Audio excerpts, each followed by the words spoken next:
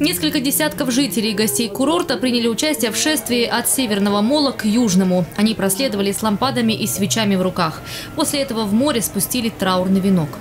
Для меня это светлая память о моих, э, о моем прадеде, прабабушке. Чем дети старше становятся, тем мы больше будем посещать такие мероприятия.